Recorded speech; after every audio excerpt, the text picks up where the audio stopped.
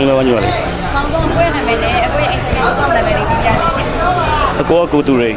အကိုရဲ့အိမ်ချမ်းမြေနာမည်ကမြန်မာပြည်အိမ်ချမ်းမြေစူးစား ကဲ့ပါရှင်အခုတို့ဆောင်နေတဲ့ customer တွေကိုဝန်ဆောင်မှုတွေပေးနေတယ်ဆိုတော့ပြောပြပါဦး အဲဘယ်လိုဝန်ဆောင်မှုပေးလဲဆိုအကိုတို့က customer ကိုစိတ်ကျင်တဲ့အထိအထိကိုတို့ဒီချောင်းဒီဖြစ်စေဝယ်ဒီဖြစ်စေเนาะငါဒါအေးအခန်းလိုလိုတိုက်ခန်းလိုလိုကိုလိုလိုလိုအဲ့ဒီ customer အတွက်ကိုအကိုတို့ကအကိုတို့နဲ့ဖြစ်သည်ဖြစ်စေမဖြစ်သည်ဖြစ်စေအကိုတို့နဲ့ ဒီချိတ်ဆက်လိုက်လို့ဝယ်လိုက်သည်ဖြစ်စေဝယ်လိုက်သည်ဖြစ်စေအကိုတို့ကစိတ်ကျင်တဲ့ဆုံးအကိုတို့ဝန်ဆောင်မှုပေးတာသူများနဲ့ပြောလို့ရှရင်တယ်ဘာလို့လဲဆိုတော့သူတို့လည်းကိုလိုအင်းချစ်မယ်ဆိုပြီးဝမ်းစာပီတိဖြစ်တဲ့စိတ်နဲ့ပဲကိုကလုပ်တာအဲ့တော့ဝန်ဆောင်မှုကတော့အထူးတလည်းပြောကြမလို့အများလုပ်နေတဲ့အတိုင်းပဲ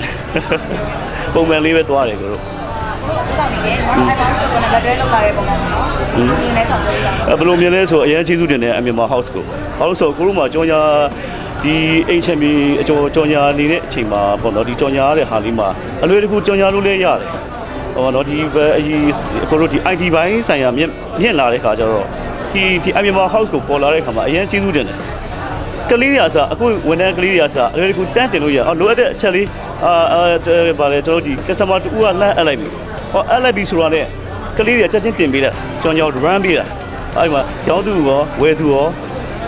ဟိုအင်ရှင်ကိုယ်တိုင်ရောအရင်အဆင်ပြေတာကျေးဇူးပါညီမလေး